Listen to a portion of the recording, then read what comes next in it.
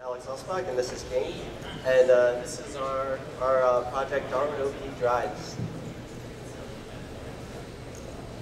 Um, so we originally came up with the concept of uh, having a humanoid interact with uh, another vehicle because um, humanoids, we all know, they're designed in human form, designed to work well in the human environment, and in order for them to fully utilize their potential, we think it's crucial that they can make use of all the tools that uh, us humans use every day.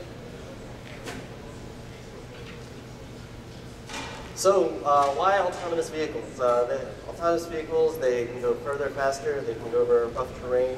Uh, humanoids have a very difficult time with that. Um, they can carry more equipment. Uh, why autonomy? Uh, you have safety, safety uh, issues that you would deal with with human drivers. You can optimize things such as fuel economy. You can reduce traffic. You can use coordination. Also, um, you can have the convenience of a, your personal robot chauffeur. Um, the current efforts in uh, uh, autonomous vehicles, um, I'm not sure, well, I'm pretty sure everyone here knows about the DARPA, new DARPA challenge. We actually worked on this project uh, before we heard about that, but uh, we were pleased to see that um, humanoids were going to be involved in driving cars and things of that nature.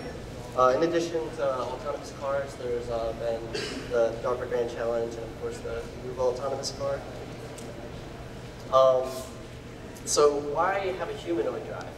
Why not just go with an autonomous car? Um, we think that uh, having a humanoid drive really opens up a lot of doors in that you don't have a, a specific car that's completely tuned for an environment. Uh, you don't necessarily have a speedster when you, you really want to go over the, the roughest terrain.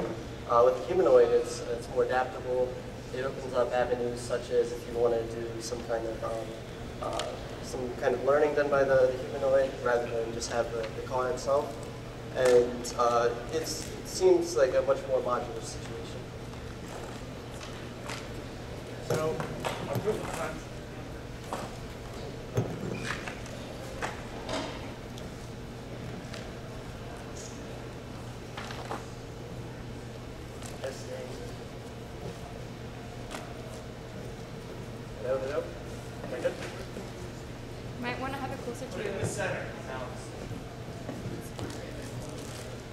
Testing. Good. So a proof of concept, uh, we always go with miniature humanoids first. That's why we have Darwin. All right. So our proof of concept was done on this miniature humanoid. Always prototype on the miniature ones so you don't break your big expensive ones. Um, and we thought with Darwin being kind of the flagship for open source robots, um, humanoid style robots, and the Roomba is also a very well-known, um, kind of iconic little robot. So we decided to make the car out of a Roomba.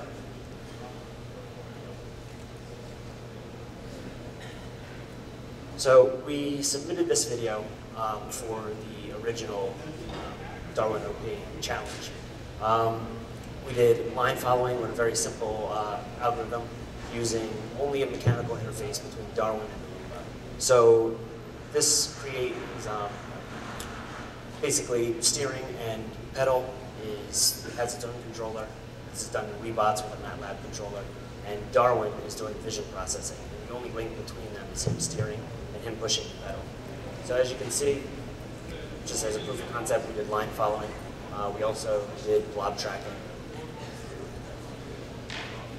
So then, after after we got accepted as a finalist here, we stepped it up to the real thing. We actually bought a Darwin at that point, and uh, we had a Roomba laying around. So, in this system, as I said, Darwin remains unmodified. He's doing the vision processing on board with his built-in camera. He's steering, and that's the input to the Roomba, and he's putting his foot on a Boolean pedal. We just have uh, go and stop. The the uh, iRobot Create Roomba is differential drive. It uses a little Atmel microcontroller, um, and it has a breakout for digital I/O, uh, analog to digital.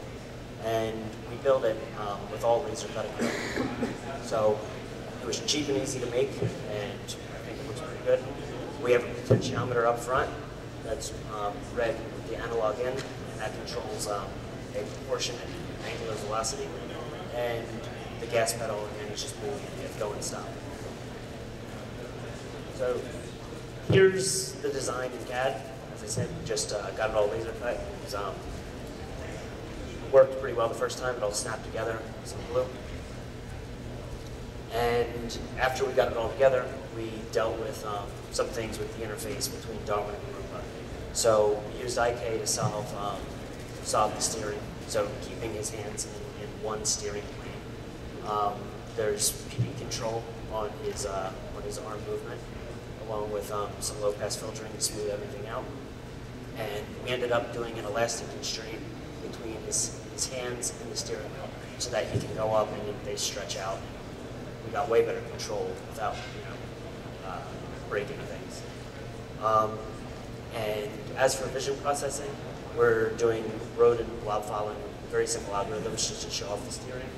Um, we're doing HSV color segmentation. We're eroding and dilating just to clean up all the noise we're experiencing. And we're also um, projecting down onto the ground so we know the actual distance of the road as opposed to just, you know, um, pixel by pixel. And uh, you may be asking what's next for this kind of uh, research topic. Um, of course, there's the DARPA Grand Challenge. We're very excited about that.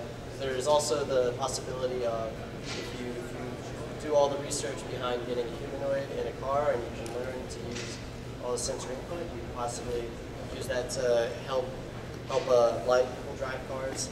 The humanoid can do it. Uh, I'm sure a person can do it.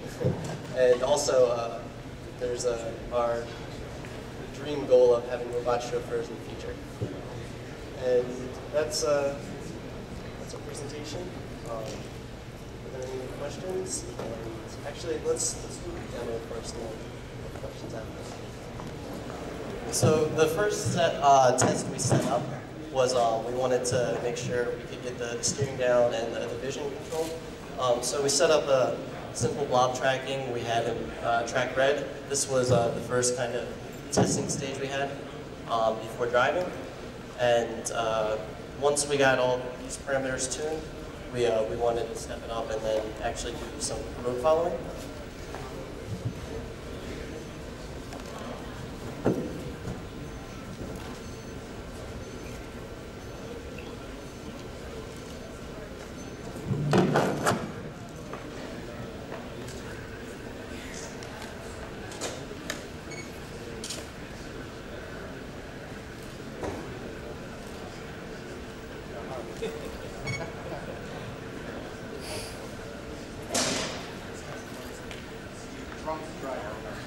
Thank